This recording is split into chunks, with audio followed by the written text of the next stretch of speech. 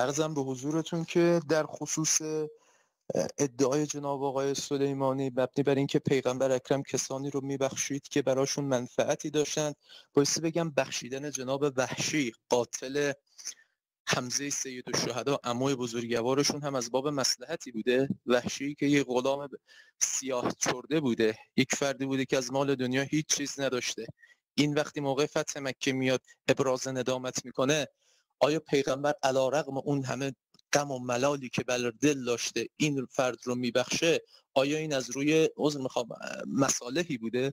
یا وقتی ما در تاریخ می‌خوانیم فلان زن یهودیه که برادرش در خیبر کشته شده میاد خوراک سمی و جلوی پیامبر می‌ذاره. پیامبر تناول می‌کنه و در اسماع خوراک متوجه میشه که این سمیه و بعد ابراز ندامت اون زن رو برای بخشیدنش ملاک قرار میده و اون زن رو تبرئه می‌کنه آیا اینجا هم پیغمبر اکرم دنبال مسلحتی بوده که میبخشه اون زن رو؟ آیا اگر پیغمبر اکرم شخصی بوده که به دنبال کین شخص کین توز بوده نمی‌تونسته اونجا انتقام از این زن بگیره؟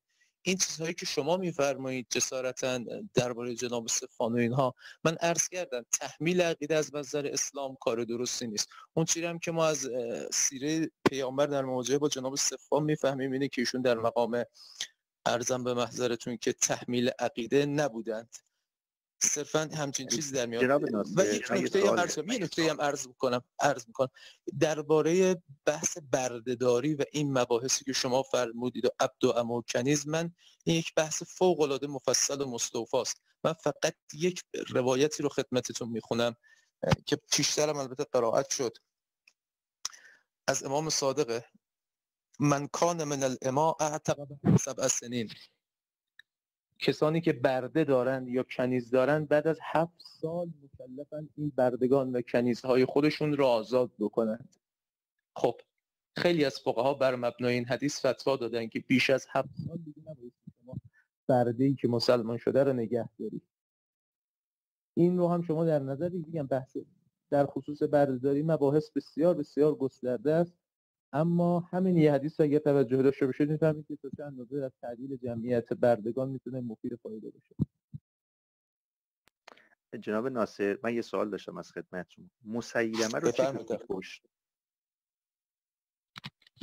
مسیلمه کذاب مادامی که تا اونجایی که من البته می‌تونم رفرنس بدم خدمتتون ایشون از اون عذر می‌خوام سفراش رو بله پیامبر امان داد چون اینا که سفیر نه اصلا کاری ندارم. ایشون رو چه کسی در جنگ کشت؟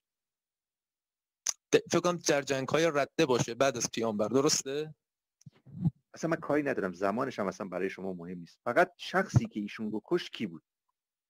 دقیقا نمی‌دونم. همون وحشی بود. وحشی کشت. بله. ببینید خب. جناب ناصر عزیز با من مصداقی جسارتا کشتن مسیلمه بعد از چیز بوده؟ بعد از ایمان آوردنش بود. بخشیدن وحشی قبل از این فعل بوده. یعنی قبل از این که بفرمایید من اصلا ببینید با من مستاقی سخن بگید. منم با شما بر اساس این شخصیت ها مستاقی سخن خواهم بود پیامبر اسلام زمانی که مکه رو فتح می‌کنه یکی از کسانی که از مکه خارج میشه خالد ابن ولیده. کسی که پیامبر اسلام هنرنمایی او رو در جنگ احد دید. به برادر او یعنی ولید ابن ولید می‌گوید نامه‌ای به خالد بنویس که او به جمع ما بیاد. ولید ابن ولید نامه‌ای به خالد می نویسه که آدمی مثل تو حیفه که اسلام رو درک نکنی. به نوعی به او می‌گوید تمام اون مزایایی که تو فکر می‌کنی می‌توانی در اسلام هم داشته باشی. خالد به خاطر جنگاوری و اون هنر رزمی که داشت آمد به صف پیامبر اسلام و بعد پیامبر اسلام هم به او لقب سیف الاسلام داد. دقت بفرمایید بعدها در جنگ های متعدد همین شایستگی و توانایی خالد بارها به کمک مسلمانان آمد از جمله در غزوه موته و دیگر جنگ ها با اینکه بنی جزیمه رو قتل عام کرد افراد مختلفی رو کشت اما پیامبر اسلام از او گذشت. حالا چرا؟ به خاطر اینکه پیامبر اسلام می‌دانست این انسان ها به کار او خواهند آمد. پس وقتی پیامبر اسلام وحشی رو بخشید به این دلیل نبود که وحشی مثلا یک آدمی بود سیاه بود و نمی‌دونم غلام بود و این چیزایی که شما می‌گویید. نه. او به توانایی این اشخاص برای پیشبرد اهداف نگاه می‌کرد. به همین دلیل است که وحشی بعدها در جنگ یمامه مسیلمه رو می‌کشه. اون هنر رو داشته. دوست بزرگوار این شخصیت ها رو کنار هم قرار بدید. بعد متوجه خواهی شد که پیامبر اسلام چه زمانی دست به چه سری تحرکات می‌زد؟ خب این پاسخی بود که خواستم خدمت شما در مورد اون کلمه وحشی که اشاره کردید بگم. وحشی همچین انسان به قول گفتنی بیخاصیتی نبود که پیامبر اسلام بگوید که خب حالا این رو بذاریم کنار چون سیاه هست و غلام هست و این داستان. پس این مطلب نبود. نکته دیگری که من از جناب اسماعیل خب توقع داشتم ایشون وقتی ببینید دوستان یک مطلبی رو بگم. حمله بر خودستایی نکنید. من کوچکتر از اون هستم که بخوام این بحثا رو بگم. ولی وقتی من تاریخ اسلام رو مطالعه می‌کنم اگر دوستی از من سوال کنه که ایمان وقتی این مطلب رو میگی در کدام کتاب آمده؟ من حداقل باید منابعش رو یادم باشه. یعنی بگویم این رو ابن صد در طبقات آورده واقدی در مغازی آورده عزالدین ابن اسیر در کامل آورده ابن ابوالحدید در نهج البلاغه آورده مسعودی در مروج و ذهب آورده. بالاخره این کسی که محققه باید حداقل این ارجاعات و رفرنس های ذهنی رو داشته باشه. حالا درست صفحهش رو ممکنه ندونه من از دوست بزرگوار سوال می‌کنم که مثلا آیشه در کدام کتاب آمده که ایشون فرزند داشت؟ ایشون باید اصلا بدون اینکه سرچ بکنه به من بگه فلانی در فلان کتاب این رو آورد.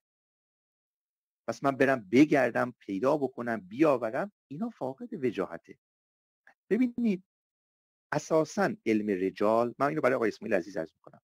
در میان خود فقها اختلافه یعنی اخباریون اساسا رجال رو قبول ندارن. چون معتقد هستند در مورد حالا روایت هایی که هست ما نباید نظر شخصی مثلا یک شخص رو صده ها بعد بپذیریم که ایمان سلیمانی مثلا فاسق بوده یا نبوده. حالا ایشون اشاره می‌کنه که نمی‌دونم اروت ابن زبیر نمی‌دونم شرابخواره بوده نمی‌دونم فاسق بوده. چه کسی شهادت داده به فسق او؟ ببینید ایشون میگه عمر سعد چون مثلا حسین ابن علی رو کشته کسی نمی‌تونه بر عدالت او شک کنه. به چه دلیل؟ از نظر شما حسین ابن علی محترمه اما از نظر علمای اهل سنت حسین کسی است که خروج کرده. اگر شما بخواید این گونه نگاه بکنید خب بسیاری از یاران خود علی ابن ابی طالب هم در قتل عثمان دست, دست داشتن. پس شما اعتقاد خودتون همین به مشکل همینه که شما اعتقاد خودتون رو حمل می‌کنید بار می‌کنید بر ایمان سلیمانی می‌گوید نخیر این چون مثلا اینجا دخالت اینجوری داشته روایت شما قبول نده. که اینها اساسا فاقد وجاهت. بنابراین اخباریون اساسا علم رجال رو قبول ندارن. فقط اصولیون هستن که تا حدودی قبول دارن. اما در درون خود رجال ما رجالی رو داریم که بین هم اختلاف نظر دارن. یعنی یک علم قطعی نیست که شما بگید که فلانی چون چنین گفته همه علمای رجالی قبول کردن که ایشون برخطاست بسیاری از مورخین افراد موثقی هستند. شما نمی‌توانید بگید تبری مثلا یک آدم فاسقی بوده در حالی که خب بسیاری اون رو امام می‌دانند. یعنی امام نه به معنای شیعی اون به عنوان مرجع. ابن سعد کسی بوده که قاضی بوده. یعنی به عدالت او حتی دستگاه های غذایی اون دستگاه اداری اون زمان حکومتی اون زمان سهه میگذاشتن. ببینید این گونه نمی‌تونیم بحث کنیم. ما سخن ما اینه که صدها روایت داریم که دلیلی بر دروغگویی اونها نداریم. چه دلیلی وجود داره که آیشه بخواد دروغ بگه؟ اونم در روی سن. کسی که به سراحت در جنگ جمل شرکت کرد توبه می‌کنه. گناهش رو میبر به نوعی تو از گناه خوش توبه می‌کنه چه دلیلی داره که بگه من 6 ساله بودم یا 7 ساله بودم؟ پس اینها چیزهایی است که ما امروز چون قبیح می‌بینیم به دنبال شواهدی میگردیم که این ساحت رو پاک بکنیم. در حالی که دیگر زنان بودن که به همین سنای کودکی ازدواج می‌کردن. اگر علی با امامه دختر ابوالعاص ابن ربی ازدواج می‌کنه او کبیر بوده؟ نه او هم صغیر بوده. فاطمه صغیر بوده. یا به منظور من صغیر کودک بوده نه ساله بوده ده ساله بوده. پس اینها رو ما نباید بیایم و اشاره بکنیم که بله چون حالا ما اومدیم و دیدیم این گونه است برگردیم بگیم اروته به زبیر فاسق بوده. نه چه کسی به فسق اون شهادت داده؟ شما اگر بیاورید ایشون رو شلاق زدن شرب خمر کرده دیگر مسائلی بله. در کدوم دادگاه؟ اتفاقا این جمعی مثل عروت ابن زبیر هشام ابن عروه عبد ابن شهاب زهری ابن اسحاق اینها هم از یک طیفن که اتفاقا بر اونها نظر بیشتر مساعده تا مخالف. مگر اینکه طیفایی مثل شیعیان یا افراد دیگر یا برخی از اهل تسنن بخوان یه سری شواهد حالا به نوعی شاز پیدا بکنن که بله ما این گونه. این است که به نظر من خیلی ممنون میشم. این قسمت رو جنبندی بفرمایید. مرسی. خواهش می‌کنم. به نظر من ما نمی‌توانیم در برابر روایت هایی که دلایل قوی پشت اون هست صرفا با اشاره به نام اسما و سن او که اساسا در اسلام وجاهتی نداشته بخوایم در بیاوریم که مثلا آیشه چند سالش بوده. هرچند جناب اسماعیل عزیز اگر می‌توانست حداقل فرزند آیشه رو به ما اشاره بکنه که ایشون که بود از چه کسی به دنیا آمد پس طبیعتا می‌تونه برای ما یک جالبی باشه. جناب ایمان ناصر جسارت می‌تونم صحبت کنم؟ دیگه وقتی میکروفون رو روشن می‌کنید از نه اگه شما هم بفرمایید من خاموش کنم ناصر جان. نزدیک به یک ساعت من می‌خواستم همین الان به شما اشاره کنم همراز عزیز. خاموش بکنم خانم. البته آره البته آره. قضیه نوبتی نبود یه بحث مناظره بود که بین بله بله. استاد ایمان و ناصر و اون دوست عزیز دیگرمون بود. و الان اگه امکان میگم بحث دیگه بله باید جنبندی, جنبندی باشه که آره که دیگه به حساب وقت بدیم. خدمت شما خانم همراز گرامی و سایر دوستان. ناصر جان جنبندی اگر میشه لطف بفرمایید چون خیلی دیگه بودیم. ناصر جان من از الان چهار دقیقه برات می‌گیرم بفهم چشم دستتون درد نکنه. تا الان که بالغ بر 800 900 من در جمع شما عزیزان بودم بالغ بر 10 مسئله 12 مسئله رو باهاش سری صحبت کردیم. صرفا مسئله سن آیشه بود که بنده گفتم راجع کنم به رفرنس من یه چیزی عرض کنم. ما یک روز در میون برنامه داریم. نگران نباش. به اون مسائل دیگه هم همشون پرداخته میشه. شما یه جنبندی کلی بله. کن. سپاس کردم. اما ادله که شما فرمودید برای بخشید اون عللی که ذکر کردید و مدعی بودید که بخشش افراد از سوی پیامبر مستند و مستظهر و متکی به اونها بوده اینها به زعم بنده نارساست. و ناقص هست.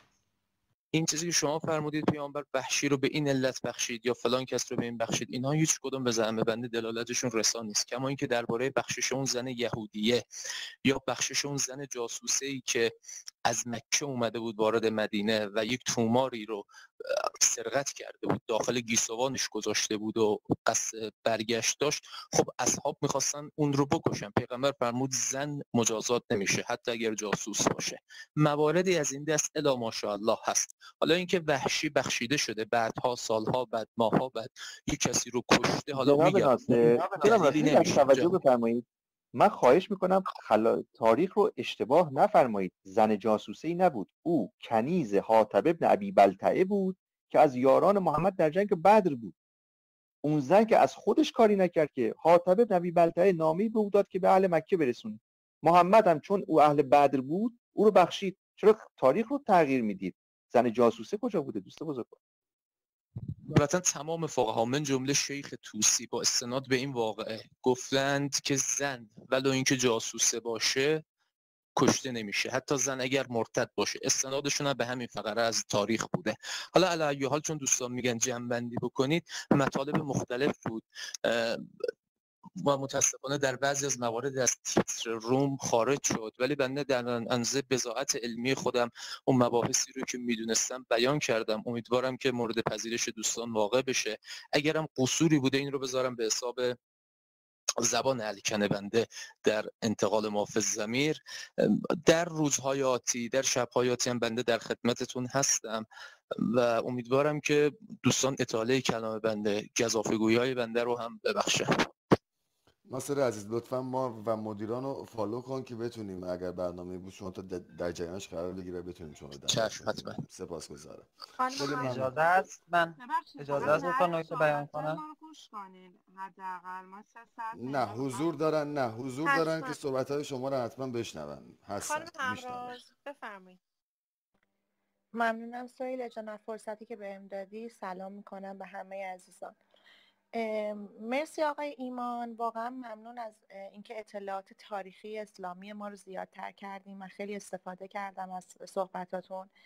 اما در مورد تاپیک سویلا جان چقدر زمان دارم؟ من اولین بار دارم شما سه دقیقه سه دقیقه زمان داری خب جایگاه والای زن در اسلام. ببینید جایگاه والای زن در اسلام واقعا خیلی برای من سنگینه. ما 1400 سال پیش یه اتفاقی توی عربستان افتاده. الان موضوع بحث اینه که آیشه 6 سالش بوده 7 سالش بوده 15 اصلا من میگم 50 سالش بوده. مشکلی که ما الان پیدا کردیم اینه که اومده دینمون قاطی سیاست های کشورمون شده. و یه کاری کرده که ما داریم قوانین 1400 سال پیش رو الان تو مملکتمون روی زنان اجرا می‌کنیم. که اگر این کارو نمی‌کردن هم زن جایگاه مقدس خودش رو در همین ایران داشت هم ما اینقدر اذیت نمی‌شدیم هم اصلا اینجور بحثا تاپیک نمی‌شد و زنان ایرانی انقدر دقدقشون و زنان و مردان ایرانی انقدر دقدقشون این نبود که چه جایگاهی در صدر اسلام داشتن. ما در صدر اسلام هر, هر اتفاقی که افتاده افتاده. الان دریابیم. قرن 21 چرا باید بعد از 1400 سال تو قرن 21 ما همچنان قوانینمون قوانین به این وحشتناکی زن ستیزی در صدر اسلام باشه؟ کجای دنیا همچین قانونایی نوشتن که تو کشور ما نوشته شده؟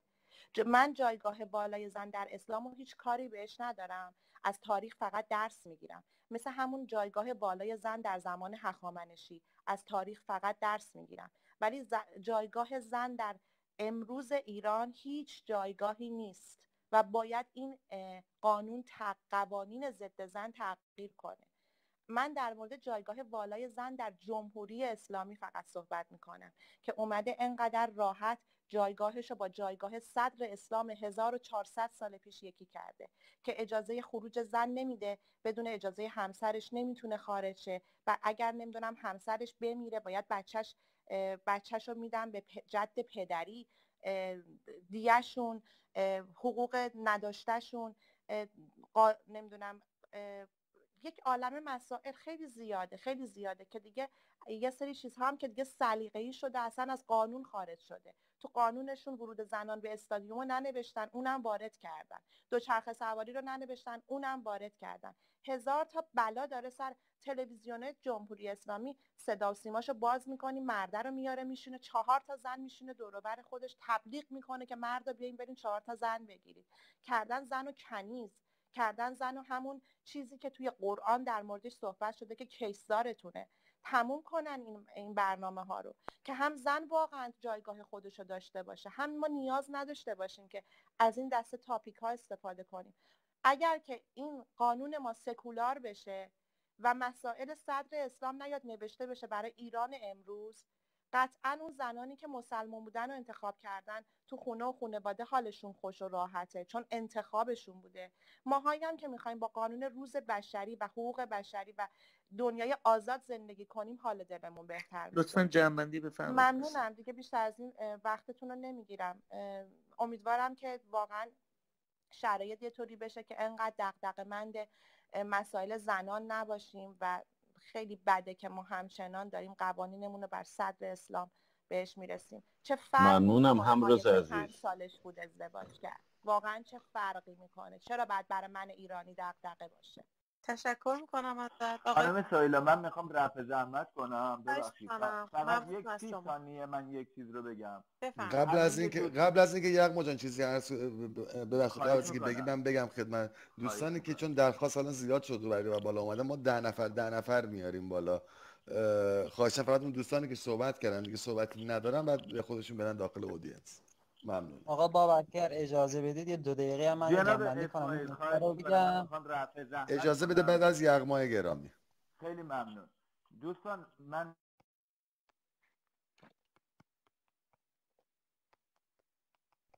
صدای یغما هست؟ صدای یغما رو نداریم. یغما جان. می‌خوان بدین آقا اسماعیل صحبت کنه تو یغما برگرد چون من رو ندارین الان الان داریم. آها بله. ببخشید دوستان هر موقع راجع به جایگاه زن در اسلام صحبت میشه سوره نسا رو مثال می‌زنم. فقط به این دقت کنید که این سوره راجع به زنهای آزاده صحبت کرده. یعنی راجع به فقط زنانی که مسلمانن. زنهایی که مسلمان نیستن خیلی وضعیت بدتره. اینا راجع به زنهای آزاده است. و جناب اسماعیل من یک چیزی رو به شما بگم. قانون صحبت کردن در قرن 21 یعنی اینکه اول من منبع رو بگم بعد بیام بگم چی گفته. ابن سعد کاتب راغدی جلد 8 صفحه 46 حمیری المعافری جلد دو صفحه 418 ابن اسیر جلد 6 صفحه 189 این مدرک منه و مطلبی که می‌خوام بگم.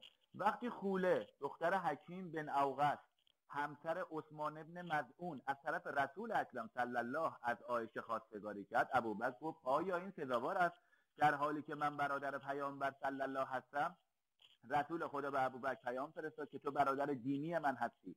لذا ابوبکر نیز قبول کرده و با ازدواج عایشه رسول اکرم موافقت کرد و پیامبر صلی الله با عایشه ازدواج کرد. عایشه تنها دختر باکره ای بود که آن زمان با او ازدواج کرد. او نه سال با رسول اکرم زندگی کرد و هنگام رحلت رسول اکرم 18 ساله بود. از سه منبع مختلف رو بردم. در فاصله زمانی چهل سال چهل سال از هم فاصله داشتن. هر سه تاشون هم توی کتابشون نسبت به همدیگه بسیار بسیار نکته مختلف داشتن. نمی‌تونیم بگی از یک مطلب بوده. خیلی ممنون از دوستان. خواهش می‌کنم. یغمه عزیز جناب اسماعیلی دو دقیقه وقت دارید.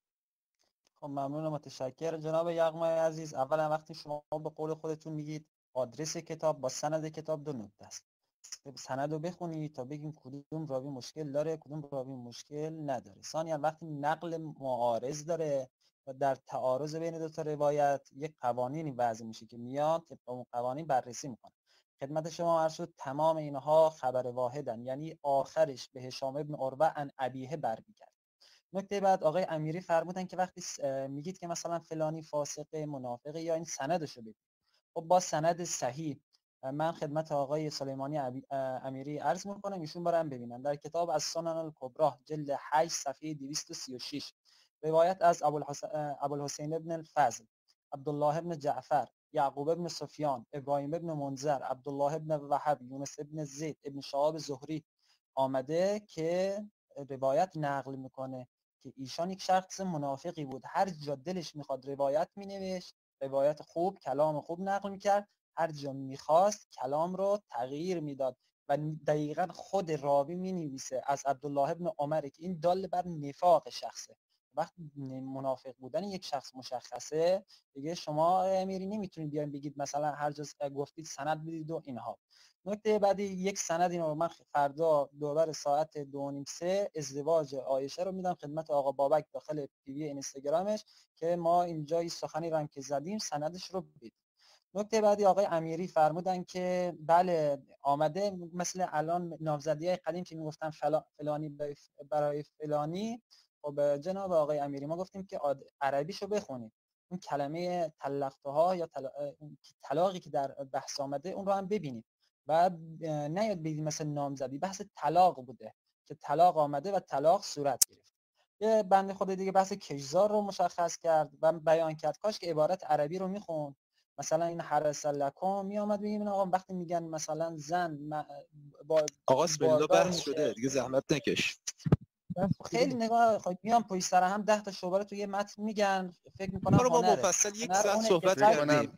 فکر کنم آره دیگه خیر ان شاء الله خب آقا ما مزاحم آره من دیگه صحبتی ندارم. فقط من فقط این نکته رو بگم که من آقا بابک این مطلب ازدواج آیشه رو من فردا بدبخت آقا بابک. چشم. بفرست برای من. بفرست برای من. اسماعیل جان استفاده کردیم. معید بشه انشالله. ناصر باز که میکروفون من یک چیزی هم قبل از این به دوست بعدی بریم چیزی عرض کنم. تک هر کدوم از دوستان عزیز باور باورمند عملا. اگر احساس که احساس می‌کنن که می‌خوام مناظره ای داشته شما شخص خاصی به R underline Persian پیغام بدن.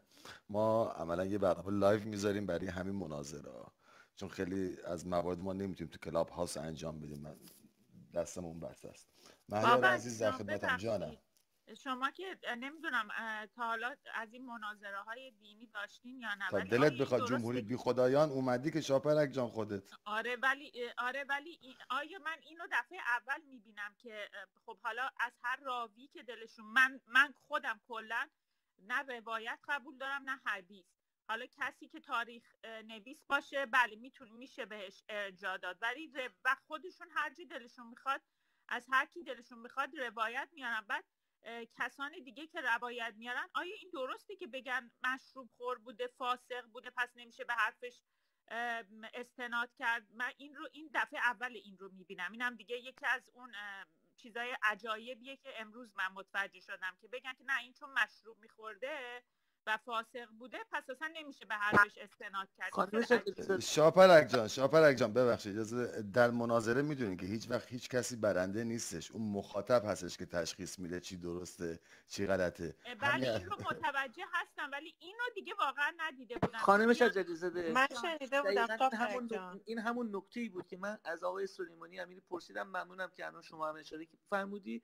به اینکه کسی که می‌خواهد یک موضوعی را بررسی کند آیا می‌تواند فقط با نگاه درون دینی خودش بیاد به موضوع بپردازه؟ یعنی فرضی که برای خودش محترمه آیا برای مخاطبش هم محترمه؟ دقیقا درسته. درسته. آقای پویا؟ بله سلام. سلام دوستان من متاسفانه دیر به بحث در واقع اضافه شدم و می‌دونم که ساعت زیادی هست اینجا هستید. اما من می‌خوام یک بحث کلی رو اینجا بیان کنم. جناب آیه امیری که خب بحث های ریز تاریخ و در واقع گذشته اسلام رو با دوستانمون کردن. من اصلا کاری به اونها ندارم حقیقتا سوادش رو هم ندارم. اما در زمینه دیگری سواد دارم که در موردش صحبت می‌کنم. ببینید دوستان. دو دقیقه پویا جان. بله. این مسئله جایگاه زن در اسلام من فکر می‌کنم که اصلا از اون برخوردی که اسلام داره با زنها می‌کنه کاملا مشخص است. یعنی اصلا من نمی‌خوام وارد اون بحث ریزش بشم. اما می‌خوام یک صحبتی رو برای بقیه دوستانم بکنم. اونم این هستش که این نوید رو بدم به افرادی که تعصبات شدید مذهبی دارن تعصبات رادیکال مذهبی دارن. امروز ما جایی نشستیم وسیله رو در دستمون داریم که هم که زنان سرزمینم آقای ناصر مثلا شما به سمت راستتون نگاه کنید شاه جان کنار شما هستن. زنان سرزمینم. عکس هایی رو از خودشون منتشر می‌کنن بدون تمام قوانینی که شما گفتید. به زمین به آسمان نیامد. اتفاقی هم نیفتاد. این نوید رو به شما به همه متعصبان مذهبی و خرافه و متافیزیک میدم که علم در جایگاهی نشسته که تمام ابرها رو از جلوی خورشید واقعیت کنار خواهد زد. و, و, و روزی خواهد بود که هیچ قدرتی برای هیچ مسئله خرافی وجود نخواهد داشت. مرسی. تشکر می‌کنم پویا جان که زمان رو رعایت کردی. آقای مهیار خانوما حق تقدم دارید تو این برنامه از الان به بعد. می‌تونید بیاید بالا صحبت کنید. بفرمایید مهیار جان. خیلی ممنون که به من وقت دادید. من واقعا لذت بردم از بحثایی که شد. ولی یک مشکل اساسی که وجود داره این هستش که کلا بحث کردن با جماعت روحانیون یه مقداری به نظر من وقت تلف کردن به خاطر اینکه تبهار خاصی در پیچوندن قضیه و خاکستری کردن بحث و کلا سفسته کردن دارن و حاضر به یعنی یک چیزی رو میگن بعد دوباره ده دقیقه بعدش یه چیز دیگه مخالفش رو میگن. مثلا ایشون در بحثشون گفتن که آقای ناصر که مطالب که راجع به پیامبر گفته شده 120 سال بعد از ایشون ما شده. بعد میان در مورد دیتیل زندگی پیامبر یا چیزی که حضرت عباس به اسبش گفته خبر دارن. اینا خو اینا هم بعدا نوشته شده دیگه. چجوری شما چیزی که به نفعتون هست رو قبول دارین و یه دفعه یک مسئله مخالفش هست میگین که نه این بعدا نوشته شده یه چیز دیگه. بعد کلا هر موقع هم که بحث می‌کنن میگن منطق و بحث علمی. در صورتی که بحثشون بحث علمی نیست. بحث علمی این هستش که شما به قضیه ایمانی نگاه نکنید. علم شما حتی می‌تونید به پایه های اصولی اون علم هم شک کنید و بحث علمی از اینجا شکل می‌گیره که بتونید به همه چیز شک کنی و بعد بری جلو. وقتی شما بنیان اولیه رو ایمانی می‌گیری دیگه نمی‌تونید روی چیزای بقیه در واقع حساب کنید و اون بحث رو علمی در نظر بگیرید. من خیلی خوشحالم که این بحث داره انجام میشه و این آقای ناصر هم عکسشون در کنار آقای خاتمی بود که حداقل تکلیف اصلاح طلبان هم مشخص بشه. مردم بدونن که همه در واقع اصلاح طلب و اصولگرا مثل همن فرقی نمی‌کنن با هم دیگه. من صحبت کوتاه می‌کنم که خانوما بیان بالا صحبت کنن. خیلی ممنون. ازت مهیار جان. بسیار عالی. آقای علی رضا دو دقیقه وقت داریم صداتون خیلی ضعیف میاد. با هنسفیری هستین؟ یکم بلندتر لطفا. نویزم داره ها یه کوچولو صداتون. من اصلا نمیشنوم. منم اصلا نمیشنوم. دادم خوب؟ عالی الان. عالی الان. خب ببینید ما وقتی می‌تونیم در مورد جایگاه اصلی زن صحبت کنیم که همگی اطلاعات کافی رو داشته باشیم. ولی خب اصلا تو این جمع من تقریبا یک ساعتی است که تو جمع هستم. اینطور نیست. خیلی بحث‌های ضعیفی انجام شد. تو بحث‌ها خیلی سفسته شد خیلی مغلطه شد. اسلام در مورد زن جایگاهش معلومه. ما می‌تونیم جایگاه زن در اسلام و از نگاه اسلام به فاطمه زهرا به زینب کبرا ببینیم. قبل از اسلام خب معلومه خود کسایی که تاریخ خونده باشن می‌دونن قبل اسلام نگاه اون جامعه عربی و جامعه جهانی به زن چطوری بود. و تا همین چندین سال پیش یعنی تا 150 سال پیش تو اروپا همینطوری بود. دو قانون 1882 نگاه زن به تو اروپا عوض شده. یعنی یه امتیازایی تازه به زن دادن. و یعنی قبلش مثل یک کالا به زن نگاه می‌کردن. اینا رو هم نگاه کنید شما. در حالی که اسلام 1400 سال پیش اومده یه نگاه ویژه‌ای کرده. کسایی که تاریخ خونده باشن فقط بحث کنن لطفا سفسته نکنید. الان بعد حرفای من مغلطه هم نکنید.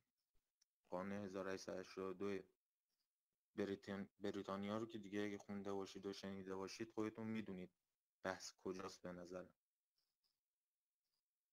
توی دو دقیقه من نمی‌تونم انشالله شبایی بعد حالا بیشتر با هم دیگه صحبت می‌کنیم. حتما. آقا من می‌تونم یه ذره جلوتر از این دوتا آقایون صحبت کنم. بله چون امروز مورد مسئله خانوم هست بله نیل فرجان دو دقیقه وقت داریم. مرسی مرسی بچه ها ببینید من دوست داشتم آقای لطفی هم باشه که یکی دو تا حالا سوال ازشون بپرسم و یه موضوعی رو بگم. هم به این آقای ناصر و هم به آقای لطفی.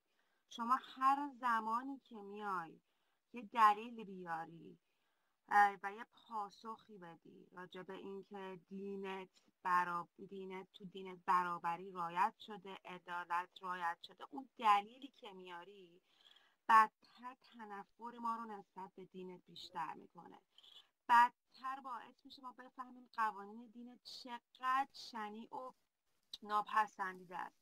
همه بچه ها حرفا رو گفتن و اینکه من دوست ندارم اینا رو دوباره تکرار کنم. این آقای قبل من میاد میگه به فاطمه زهرا زینب کبرا آخه فاطمه زهرا که نه سالش بود ازدواج کرد 18 سالش بود فوت شد ما به چیش نگاه کنیم؟ حالا از زینب کبرا فقط تو گوش ما خوندن که اون خطبه هایی که در کربلا گفت خیلی مهم بود فلان بود.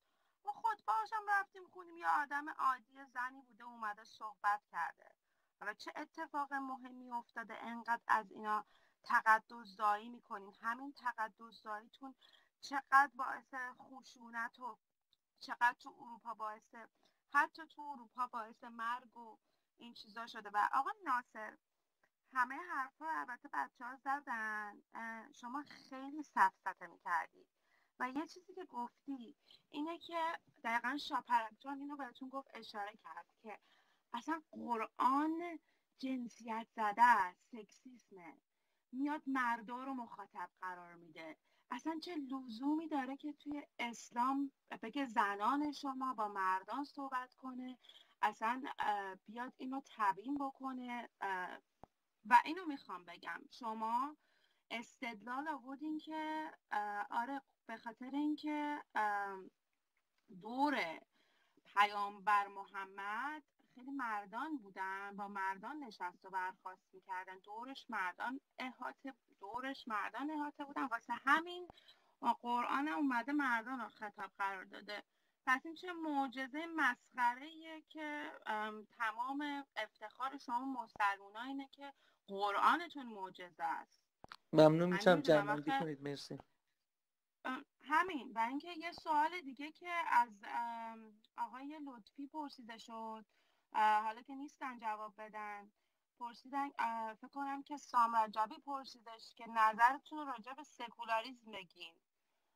فکر می‌کنم واقعا سکولاریسم خیلی کمک می‌کنه که احترام دین شما نگه داشته بشه چون واقعا نه تنها مردم دیگه به این دین شما پایبند نیستن بلکه ازش انزجار و تنفر بسیار ممنونم. مرسی. از این دینی که اجازه بدین خواهش می‌کنم. من الان ساعت هاست اینجام ساعت سه نخوابیدم. خب قرار شد همه دو دقیقه کنم. صحبت کنن. الان شما سه دقیقه هم صحبت کردید سامان جان کلا سه تا دونه خانم بالاست. اه، سی, ثانیه اضافه تر صحبت کن نیلوفر. این دین بزرگترین تهدید علیه بشریته. تموم شد و رفت.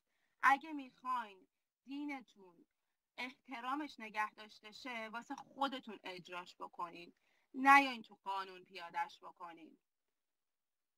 ممنونم ازت عزیزم. شبهای دیگه خواهیم بود. آقای لطفی رو خواهیم آورد و دوباره با هم دیگه در مورد این موضوع صحبت خواهیم کرد. آقای سلیمانی آها و ببخشید. آقای ناصر نظرش هم بگی راجع به سکولاریسم. مرسی.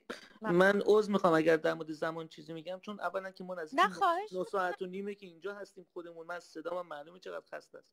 دومی که شما فرمودین دو دقیقه. منم که مسئول تایم هستم نه خواهش اعلام کنم. نه نه ایرادی نداره. شما ایراد از شما نبود. حالا دیگه حالا من مدیرم دیگه گفتم بذار نیلوفر سی ثانیه بیشتر حرف اشکال نداره. آقای منصور عزیز دو دقیقه وقت دارید. سلام خدمت ببخشید ببخشید آقا منصور عزیز. من فکر می‌کنم از محسن نوبت محسن بود ازشون. بله من اجازه آره. بفرمایید من صحبت اجازه بفرمایید. نه دیگه نه نه با, نوبت بریم جلو دیگه آقا آقا ببین من چی می‌خوام بگم؟ بعد منو اصلا بفرست پایین. قربونت برم من هر چی دوست قربونت برم. می‌خواستم جواب آقا ناصر رو مستند حقوقی بدم. الان که ناصر رفت منو بفرست پایین. ممنون. نه ناصر الان که یه چند دقیقه است رفته پایین. حالا بمون اینجا. محسن عزیز بفرما.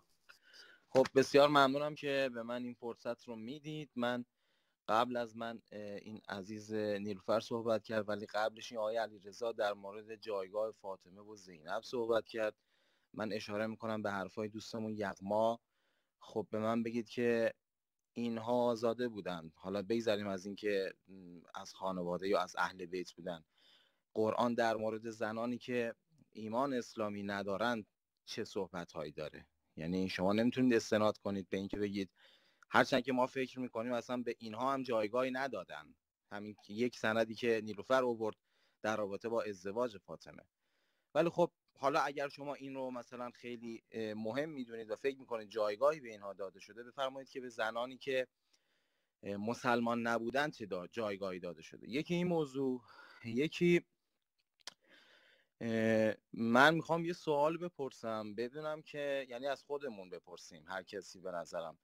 اگر که واقعا اسلام به زن نگاه ابزاری نداره چطور توی قرآن به مردها در برابر اعمال خوبشون وعده زن داده شده در بهشت؟ یعنی اینکه من می‌خوام بدونم اگر زن جایگاه ابزاری نداره و یک جایگاه جایگاه انسانی بهش داده شده چطور پس به ما میگید کارهای خوب بکنید ما تو بهش بهتون زن هدیه بدیم. هورالعین و فلان و این داستانا. و یه مسئله دیگه هم اینه که ما صحبت هایی که اینجا شنیدیم و طبق معمول توی مناظره هایی که با مسلمون ها و در رابطه با اسلام صحبت میشه و میشنویم در نهایت بعد از تمام صحبت هایی که حالا برمیگرده به ترجمه عربی و فلان و این داستان ها که تمام اینا مغلطه حساب میشه. و از اینا که میگذریم می‌بینیم که این مسلمانان عزیز میگن که ما هنوز بر باور خود هستیم حتی به غلط. خیلی ممنون که من فرصت بدید خواهش می‌کنم. ممنونم از بابک که یادآوری کرد. جا جابجا جا شد نیلوفر تصویرش. من گم کردم. اردلان عزیز دو دقیقه میشنویمتون ممنونم. مرسی که وقت دادین. صبحتون بخیر. بچه‌ای که تو ایرانن ارزم حضورتون که من هم به سکولاریسم اعتقاد دارم و اعتقاد دارم که الانی که مثلا ماه رمزونه منی که روزه می‌گیرم منی که مثلا اعتقاد دارم باید برم. یه گوشه ای و اعمال خودم رو به جا بیارم و احترام اون کسی رو داشته باشم که داره غذا می‌خوره. نه اون کسی که داره غذا می‌خوره بیاد احترام روزه دارا رو داشته باشه.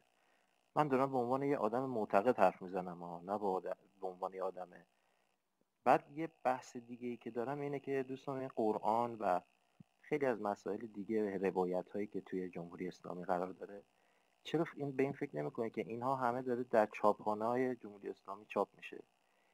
ما یک مملکت سورئالیسم داریم بسیار عجیبه غیر قابل پیش بینیه چرا فکر می‌کنید که امکان این وجود نداره که تحریف و دست بردن این ملایان و شیخ در قرآن وجود داشته باشه. صد درصد به نفع خودشون بوده. منتها یکی از دوستان ما در مورد جایگاه زن قبل از اسلام صحبت کردن که این واقعا سند تاریخی داره. خب یونانی ها زن رو اصلا زاده شیطان می‌دونستن. تو هیچ کاری زن رو دخالت نمی‌دادن و فقط برای ازدواج جنسی استفاده می‌کردن. یا مثلا روم با اینکه پیشرفت زیادی داشتن اما عقیده اونا این بود که زن به علت دارا نبودن روح انسانی اصلا توی روز قیامتی که حالا بهش اعتقاد داشتن محشر نمیشه.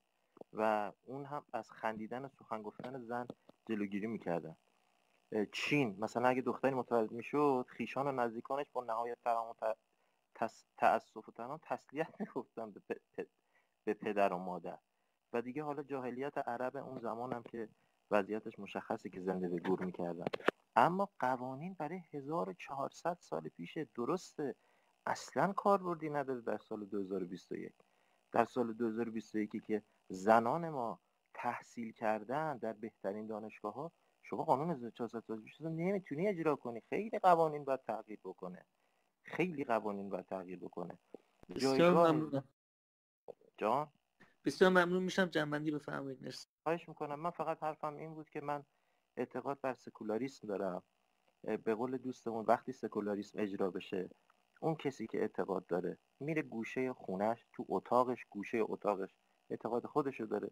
اونی هم که اعتقاد نداره اعتقادش چه و ما همه با هم دور هم می‌تونیم با محبت و دوستی زندگی کنیم. مرسی.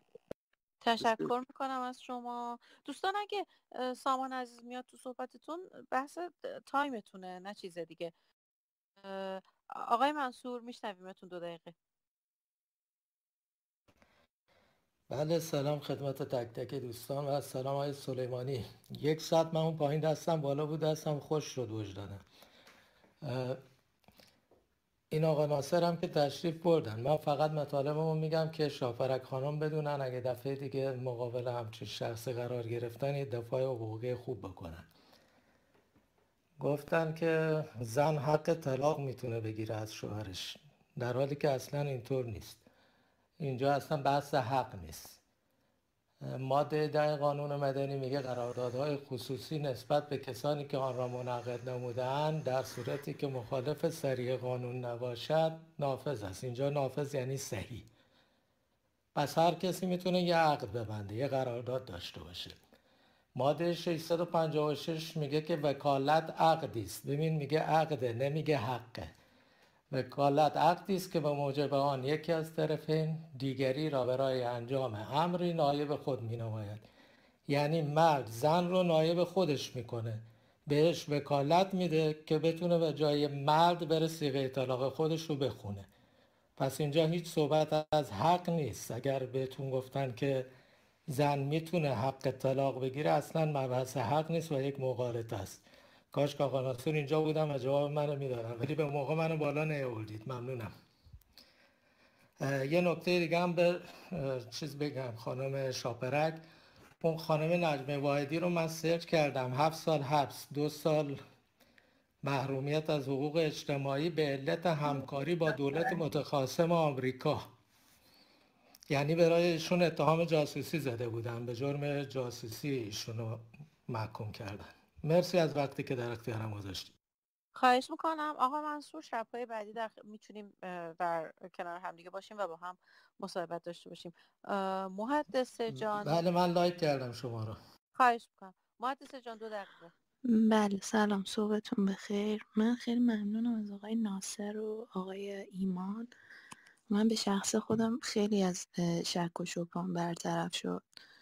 و اینکه یه چیزی که ببینید دوستان یه چیزی که خیلی بر من عجیبه اینه که آقای ناصر هم آقای لطفی یه سری خب فکت و سند ارائه می‌کنن. خب این غیر قابل انکاره. ولی تا این فکت و سند رو ارائه می‌کنن همه میگن شما دارید مقالطه می‌کنید سفسطه می‌کنید. خب به نظر من نمیشه که هر وقت یه سندی رو کردم ما بیایم بگیم شما دارین مقالطه می‌کنید. خب اگه اینجوری باشه همین خانومی که الان اومدن خانم میترا بابک فکر کنم ایشون خودشون پر از حرفاشون پر از مغالطه بود. برگشتن میگن که چرا نه سالگی برای دختر سن بلوغ می‌گیرین؟ بعد جشن بلوغ می‌گیرین؟ بعد بعد میگن که چرا نمی‌ذارید کودک خود ارزایی کنه؟ شما یعنی ببینید آخه نمی‌دونم این با کدوم انسان؟ بعدم همش میگن انسانیت انسانیت. این عزیزم همش علمی خانم شما ایشون نگفتن کودک خود ارزایی کنه. ایشون گفتن ایشون گفتن مردی که صحبتش هست که اگر نمی‌تونه سکس داشته باشه باید حتما بره یه زن دیگه بگیره یا چه می‌دونم با کنیزش نزدیک کنه آقا بره خود ارضایی کنه. همچین صحبتی بود. اصلا کودک صحبت نکرد. ایشون شما دارید شما دارید مغالطه می‌کنید وحشتناک خانم. شما اصلا ایشون, ایشون یه سکس تراپیستن. صحبت هایی که کردن از تخصصشون بود. در مورد کودک هم حرف نزدن. در مورد شناخت انسان بعد از بلوغ از بدنش صحبت کردن و ایشون مقالطه نکردن. ایشون بر اساس بر اساس بر اساس عزیزم تجربیات و تحصیلاتشون ببینید. اطلاعاتی رو که داشتن در اختیار ما قرار دادن. بله ولی ایشون دقیقا این جمله رو گفتن که شما آخوندان نمی‌ذارید بچه ها خود ارزایی کنن. نگفتم خواهش می‌کنم نگیرین حرفو. چرا حرف گفت بقیه می‌ذارین؟ اگه اومدن مهندس خانم شما خود الان ایشون دانشجوی روانشناسی. هستی مثل اینکه خودت بله چون بوده. دانشجوی روانشناسی خب آره هستم ایشون واژه هم واژه. کودک رو قبول کنید ببینید برای ما شده نتیجه این همه خرافاتی که تو ذهن ما دخ دخترامون شده باعث شده که نتونن بدن خودشون رو بشناسن و اصلا این چیز بدی نیست که یه نوجوان اصلا قبل اینکه سکس بکنه خود ارزایی بکنه و بدن خودش رو. بشناسه ببینید ایشون گفتن کودک. کودک یعنی هشت ساله. کودک یعنی نه. آره من منظور این خانم می‌دونم. ایشون می‌خواد می‌خواد منتهی بشه به این صحبتشون که کودک. یعنی واقعا کودک بچه نه تینیجر. در یه خانم دکتر اصلا بحثشون تینیجر بود. آدم من نمی‌دونم ایشون چرا اصرار داره که صحبت رو بکنه.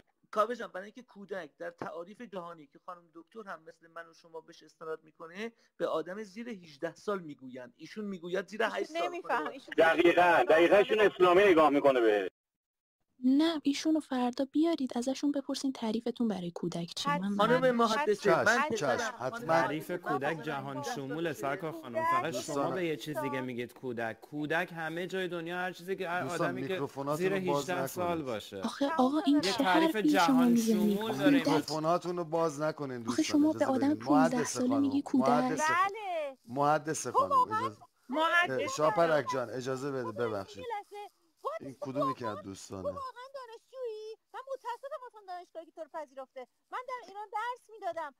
بی شعور ببینید. دانش آموز سر کلاس من می‌دونست تعریف کودک یعنی تو 18 سال. دانشگاه امام صادق نیست.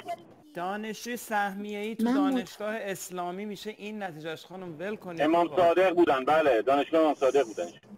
اصلا احمقانه است. این هنوز نمی‌دونه کودک تعریفش چیه و دانشجو واقعا احمقانه است؟ منم دقیقا فهمیدم منظورش چیه. ایشون از کودک منظورش ایشون میگن آقای آقای لطفی و آقای ناصر هر فکتی که اووردن ما گفتیم مقالط است. ما مستقیما آیات قرآنی که در مورد زنان صحبت شده بود رو ازشون پرسیدیم. من نمی‌دونم چه فکتی آوردن و تمام آیاتی هم که خودشون گفتن سندی بود بر اسلام ستیزی دین اسلام. بر زن ستیزی ببخشید دین اسلام. من نمی‌دونم چه مقالطه ای ایشون میگن که ما کردیم. هر سندی از قرآن ارائه دادن سندی بود. بر زن ستیزی دین اسلام. منتها خب این آقایون می‌خواستن می‌خواستن با سفسته و مغلطه و تفاسیر مختلف این رو خب قبول نکنن موضوع. من نمی‌دونم. نه نه سویلا من نمی‌دونم چرا انداختینش اینا پایین. این اگر اینجا بود تو دو دقیقه دیگه می‌تونست بگه که اذعان می‌کرد که کشدار هست. و واقعا قبول دارم خودشون. میشه ممنونم. اگه میشه اگه میشه آره چیز آره اجازه بدید توی این فاصله که من پیداشون می‌کنم بیارم بالا. آره کرمیت عزیز صحبت ببینید یه مسئله بعد از کرمیت هم آقای سلیمانی عزیز اگر صحبتی دارم. بابا جان من آوردمشون بالا. من یه مسئله که خدمت خدمت خانم مهندس خب الان اجازه میدی بگم. من صحبت کنم؟ نه اجازه ب... نه اجازه بده بهت میدیم. من یه چیزی که خدمت خانم مهندس می‌خواستم بگم ایشون خیلی با حرارت دارن دفاع می‌کنن میگن محکوم می‌کنن. حالا میگن نظر خانم دکتر این بوده که کودک مثلا چرا گفتن کودک حق داره خود ارضایی کنه؟ مثلا کودک 8 ساله. خب شما از دینی دارید دفاع می‌کنید که توش کودک 9 ساله می‌تونه ازدواج بکنه. حتی کمتر از 9 ساله می‌تونه ازدواج می‌تونه بکنه. مادر بشه کرمید اصلا؟ دقیقا. اصلا خب این یعنی واقعا خود انقدر هستی که وحشتناکه در حالی که سکس وحشتناک و نیست. گفتی که تابع تاب... گفتی که طرفدار خامنه ای و قاسم سلیمانی هستی. درست عزیزم؟ همون دو بله؟ بله شما الان منو می‌خوای به خاطر اعتقادم محکوم کنی. نه عزیزم فقط می‌خواستم سوال بدونم کردم. تو عکس تو عوض کردی. بدونم که همون خانمی هستی که گفتی گفتی که پیرو خامنه ای هستی و پیرو قاسم سلیمانی یا نه؟ چون عکس تو عوض کرده بودی. ببینید من. نگفتم دوستان پیرو بخ... میکروفونتون رو باز نکنید خواهش می‌کنم. باز اجازه بدید، اجازه بدید. نمیدم. کرمیت داشت صحبت می‌کرد. بگو کرمیت م- من فقط همون می‌خواستم بگم در واقع اینقدر که دوستان به طرز وحشتناکی نسبت به این موضوع مو- موضع می‌گیرن که مثلا فرض کنید خود ارضایی کودک وای چقدر وحشتناک. خب واقعا خود ارضایی وحشتناکتری یا سکس اونم با یه مردی که من من چقدر از خودش بزرگتر اونم واقعا مثلا فرض کنید بچه‌ای که حتی ما طبق فتوای آقای خمینی مثلا می‌تونه حتی نوزاد باشه با اجازه اجازه پدرش چیز شده باشه ازدواج کرده باشه. اینا وحشتناک نیست که مثلا فرض کنید شما یه نوزاد رو بدید به یه آدم بالغ مثلا واقعا این کودک آزاری نیست بعد مثلا واقعا خود ارضایی اینقدر وحشتناکه. مثلا من واقعا نمی‌دونم این چه استاندارد دوگانه ایه که دوستان دارن. ممنونم کرمیت جان. آه، آوتیس دو دقیقه ها. من فقط می‌خواستم توضیح بدم راجع به اینکه جایگاه زن در اسلام از تعداد همسران محمد رسول الله مشخص میشه. شما برگردید به طول تاریخ یعنی در اسلام زن اگر خیانت بکنه سنگسار میشه. زن نمی‌تونه دو همسر داشته باشه ولی مرد می‌تونه همسرها داشته باشه. این تبعیض کاملا مشخصه. داخل قرآن بارها از زن به عنوان کشسار نام برده شد. بارها برای اینکه یک زن این یه نفر میکروفونش بازه. زن باید کتک بخوره توسط چرا اوتیس بسته شد؟ فکر می‌کنم ب- connection ش مشکل داره. آها. احتمالا connection هست. زن باید توسط همسرش اگر نافرمانی کرد باید کتک بخوره و طرد بشه از جامعه سکس از سکس از همسرش. خب اینها همه این چیزها یک یک ضد زنیت رو در اسلام نشون میده. شما نگاه بکنید به تاریخ همین جمهوری اسلامی. در کتاب خود خمینی از یک کودک زیر دو سال یعنی یک شیرخواره به عنوان مکیدن و تفخیز استفاده میشه. تفخیز یعنی من نمی‌دونم می‌تونم راحت توضیح بدم یا نه. بله. یعنی تفخیز یعنی به صورت یعنی بین دو پا. بین دو پا. بله بله. بین دو پا. وقت این خانم محدثه که من واقعا متاسف شدم که یک خانم یک بانو داره حق خودش و نقض حقوق خودش رو عنوان داره می‌کنه. یعنی داره به یک سری افراد و ایدئولوژی ها اجازه میده که فرد فردا او رو به عنوان برده جنسی به حشد الشعبی و حوسی های یمن به عنوان یک شخص صادر بکنن و برده جنسیش بکنن. یعنی این حق رو داره این خانم به خودش میده که هر کسی هر آیت اللهی که با یک جهاد این رو اه، برده جنسی بکنه. من واقعا برای شما خانم متاسفم. درود بر همگان. ممنونم م، ببخشید کسی غلط می‌کنه؟ این اجازه خانم مریم اجازه بدین. ببخشید. مریم خانم ببندین صداتون رو. ببخشید. اه، سوال من اجازه دارم صحبت کنم؟ حتما آه، من می‌خوام آره می‌خوام اگه بشه وقت بدم به محدثه که فرستادینش پایین. مهندس شما ادامه بده صحبتتون. ببینید من گفتم که خانم بابک اینو گفتن. اگه اینو نگفتن فردا شب بیارینشون. خب شاید منظورشون از کودک یه چیز دیگه بوده. شاید من دارم اشتباه می‌کنم. میاریمش تعریف مهندس جان میاریمش تعریف من از به کودک عنوان یک دانشجو ببین من خودم درس می‌دادم. الان الان فکر کن داری به استاد جواب میدی. بله ببینید من- تعریف من از کودک بچه‌ایه که به دنیا میاد تا سن حدودا دوازده سالگی تا این سیزده تعریف سالگی. از کجا یاد گرفتی؟ ببینید این یه تعریف ثابتیه اصلا من متوجه نمیشم. این کودک زیر 18 سال کودکه همه جای دنیا. حتی وقتی من درس میخوندم معلم هامون به ما می‌گفتن زیر 18 سال کودکه. من نمی‌دونم کی به تو گفته زیر 12 سال کودکه. 12 تا 18 سال چیه اون وقت؟ خب زیر دوازده سال چیه میشه بگین؟ من اجازه می‌دید من صحبت کنم؟ نه نه شما به من بگو زیر دوازده سال چیه نوزاده؟ خانم سویلا اجازه می‌دید من مستند بهشون جواب بدم؟ جناب منصور می‌خوام منظر حقوقی جواب خانم مهندسه رو بدم شکرم. بشین اینقدر میکروفون نزن. خانم محدثه. کودک تعریف داره. در تعریف بین المللی کودک زیر 18 سال کودک محسوب میشه. در ماده 1041 قانون مدنی ایران برای دختر 13 سال البته برای ازدواج و پسر 15 سال تمام قمری در نظر گرفته شده. این مستند من. حالا شما هم یک مستند بدید که تعریف حقوقی داشته باشه. لاقل جمع بدونن که اون تعریفی که شما از کودک می‌کنید مستند حقوقی داره. آقای منصور شما میگین زیر 18 سال کودکه. یعنی از یک سال تا 18 سال کودکه. درسته؟ اینو من نمیگم این قوانین بین الملل میگه. تمام بله. جهان اینو پس وقتی خانم میترا بابک میگن که یه کودک می‌تونه خود ارضایی کنه یعنی از یک سالگی تا 18 ایشون سالگی می‌تونه. خیر اجازه خانم خانم بابک الان تشریف ندارم و من هرگز وقتی کسی تشریف نداره صحبت. نمی کنم اجازه بدید یه شب دیگه که خانم بابک باشن در روزی رویشون بله بله. اجازه بدین خودشون باشن. بعدم خانم شجری زاده من نگفتم پیرو آقای خامنه ای آقای سلیمانی ما یه بحثی با هم دیگه داشتیم یادمه توی یه رومی. من یه جمله ای رو از این دو نفر آوردم. همین. شما چجوری میگی که تو گفتی من پیرو خامنه ای و پیرو آقای سلیمانی ام خانم مهندس من یه سوال از شما بکنم. ب... یه سوال فقط من بکنم بچه ببخشید. خواهی می‌کنم. این که بحث نمیشه برادر اجازه بفرمایید. این که بحث نمیشه. هر کسی قرار دو دقیقه صحبت کنه. شما پینگ پونگی که نباید بکنید عزیز ده هر کسی دو دقیقه حرفشو بزنه دیگه. با شماست آقا سید لطفا میکروفونتون رو ببندید.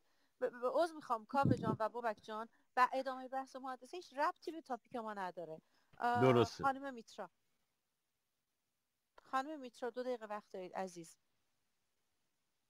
تشریف ندارید بله بله هستم هستم. بفرمایید. سلام علیکم. خیلی ممنون که به من فرصت دادین صحبت کنم. والا من واقعا خیلی تعجب می‌کنم. من سنم خیلی پایین نبود که مهاجرت کردم ولی هر چی داره روزای ایران میگذره با همه سختی هایی که کشیدم خوشحالم و هر چی سختی می‌کشم خوشحالم.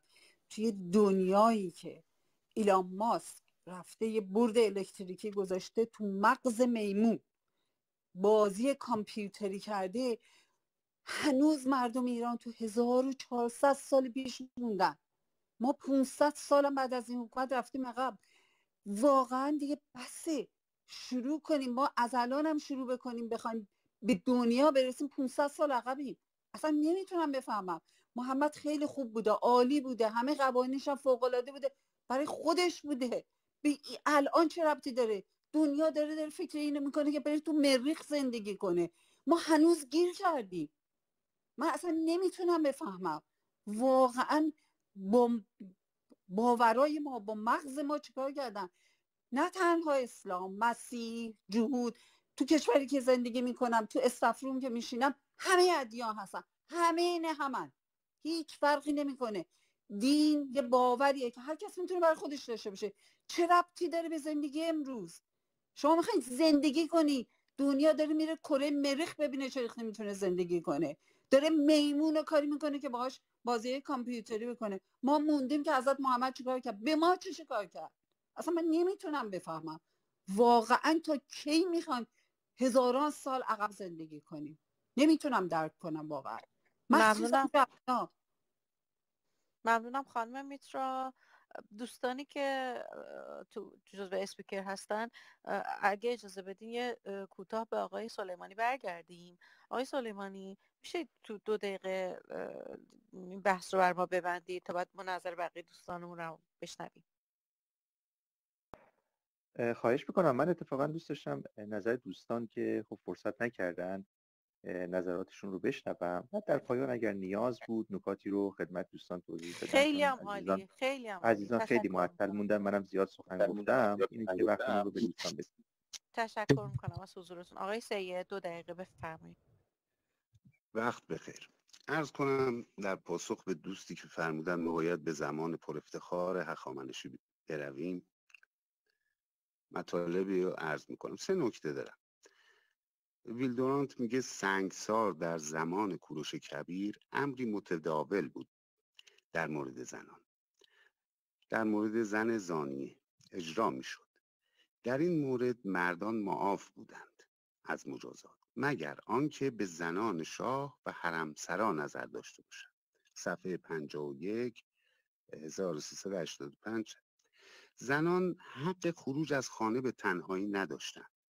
و مأمورانی به نام نعش سالار مأمور اجرای این قانون بودند زن خاطی موهای سرش تراشیده می‌شد سالها در خانه محبوس می‌شد و شوهر زن حق مزاوجت با زن دیگری داشت. در صورت این سومین در صورت خیانت زن مرد حق کشتن زن را با شکنجه داشت. اگر نمیکش خود مرد مجازات می‌شد. پیرنیا 275 خدمتتون ارز کنم ما اگر فرهنگ 1400 سال پیش رو می‌خوایم تفسیر کنیم و تحلیل کنیم باید با اون زمان نگاه کنیم. بسیاری از اینها که شما الان معترض هستین یک به خاطر عصبانیت از جمهوری اسلامیه دو به خاطر اینکه تحلیل شما امروزیه. اینا فرهنگ عرب بوده و انجام می شده اصل کتاب قرآنه. شما از قرآن برای ما مثال بیاورید. ما عرض می‌کنیم خدمتون که این چی بوده. حالا می‌رسیم به پیامبر. پیامبر تا چهل سالگی تا پنجاه سالگی با یک زنی به زندگی کرد. بفرمید آقا. ببخشید. سرکار خانم سهیلا من از گروه رفته بودم بیرون گم کرده بودم. راستش بخوای رومو. هیچ ایرادی نداره ناصر. ولی ببین باز اومدی وسط صحبت دیگه نه می‌خواستم اگر مطلبی مربوط به من گفته شد من در خدمت ناصر بعدا خدمت شما می‌رسیم من ارزم تموم شه. پیامبر تا پنجاه سالگی با زنی زندگی کرد که پونزده سال از خودش بزرگتر بود. در فرهنگ عرب اون زمان اگر مردی با یک زن زندگی می‌کرد تحقیر آمیز بود تحقیرش می‌کردن. اگر پیامبر مسئلش مسئله جنسی بود که خب زنهای متعدد می‌گرفت. تا زمانی که خدیجه فوت کرد. ازدواج های پیامبر ازدواج های سیاسی بوده. برای اینکه در حالت قبیله ای بود اگر با هر قبیله ای ازدواج می کردی اون قبیله هم پیمان تو می شد من عرضم تمامه. سپاسگزارم از جناب سعید جناب سعید من یه سوال دارم از جناب سید من یه سوال دارم هم از بفرمایید در. خدمتم بود کدام یک از بله. همسران محمد موجب پیمان قبیلگی میان او و اون قبیله شدن؟ کدوم یک از همسرانشون؟ بسیاری است بسیاری از سه تا رو نام ببرید. سوده رو ببینید. سوده رو ببینید. خب؟ سوده مال کدوم قبیله بوده؟ بالا حالا حضور ذهن ندارم می‌تونم براتون فکتش بیارم. کاری نداره. همه ازدواجایی که کرد به غیر از اون اجازه بفرمایید این فکتش رو بیارم نیست. ببینید شما یه مطلبی رو میفرمایید. من دیگه حضور شما ذهن الان ندارم از کدوم قبیله بوده. خب. ولی اینو اطمینان دارم. به عنوان محقق دارم خدمتتون عرض می‌کنم. بحث بحث زن, زن دیگر دوم دو نه عزیز من اینجوری اعتماد من به کسی اعتماد نمی کنم زن دوم. بفرمایید. دومین زنی زن که پیامبر اسلام؟ دومین زنی که موجب پیوند قبیلگی شد. بسیاری از زنان 13 تا زن بوده دیگه. بسیارشون اشکال. نداره. اشکال نداره. سه تاشو عرض کردم نام ببرید. میگم من بر حضور ذهن الان ندارم. نام به سلامت. اجازه بدین ده دقیقه بهتون میارم. بیا دقیقه. ببخشید ببخشید. سوده از قریش بوده دختر اجازه بفرمایید. چندین چندین چیز بوده. یک یک قبیله که نبوده. اجازه خب، بفرمایید. پیام- شما ده پیامبر دقیقه دیگه برای من. هاشم بوده. جناب سید شما ده دقیقه دیگه برای من در مورد سه بله. زن پیامبر اسلام که موجب پیمان قبیلگی شدن. دقت بفرمایید. یعنی تا قبل از. اون محمد با اونا دشمن بود. به واسطه بله. ازدواج با اینها پیمان قبیلگی بسته شد.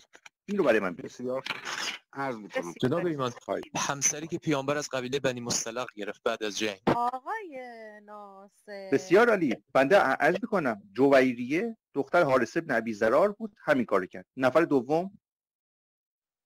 ممنونم آقای بفرمایید. بفرمایید. دقیقه. آقای ناصر نفر دوم. آقای سلیمانی بذارید نه اجازه بده اجازه بده دارن بپرسن جواب ببینید. اینجوری نیست که یکی. بگه و بره ببینید شما از اساس تا یک دقیقه پیش از اساس جناب ایمان بزرگوار. جناب ناصر نفر دوم. عرض می‌کردم شما تا یه سی ثانیه پیش از اساس منکر می‌شدید منتها حالا که الان آوردم میری سراغ دوم میگم من الان حضور ذهن ندارم من درس کردم. سه زن. البته البته عزیز من، من درس کردم. سه. سه زن گفتن نگفتن بله. یه دونه نفر. دوم. یکیش همین خانمی بود که من عرض کردم دیگریش هم اجازه بفرمایید بفرمایید دیگریش هم ماریه قبطیه می‌تونیم نام ببریم که در ماریه واقع قبطیه چه ربطی به قبیله داره دوست عزیز این رو پیشکش کرد به منظر. محمد اصلا اون. همسر از. پیامبر نبود که اون کنیز آیشه بود عزیز از من آورده ماریه عزیز من ماریه قبطیه به عنوان هدیه آورده شد چه ربطی به پیمان قبیلگی داره هدیه دوم. نبود. کنیز کشید معذرت در. جنگ اسیر شده بود بعدا ازدواج کرده بود. اجازه حالا ب- خدمت اجازه بدین من من یه- نکته بسیار خوب. یه نکته چرا میخندی برده آقای آقای سید اجازه بدین؟ اتاق مسئول داره شما نگران کسی نباشید. جناب لطفاً سید نفر دوم. این دوستان- همه حرفای تاکسی پسند اینجا زده چرا جلوشون رو نگرفتید؟ دو- دوستان لطفا میکروفوناتون رو ببندید بنده اگه اجازه میفرمایید یک عرضی بکنم. آقا س- آقا ناصر من ایمان جان سلیمانی لطفا میکروفونتون رو ببندید ممنون میشم. مرسی. آقا ناصر شما فرمودین که آقای سلیمانی تا همین یه دقیقه پیش داشتن در واقع این کار می‌کردن.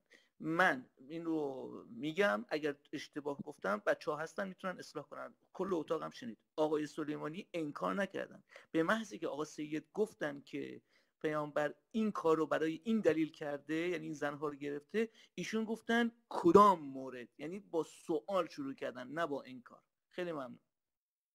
ممنونم سامان جان.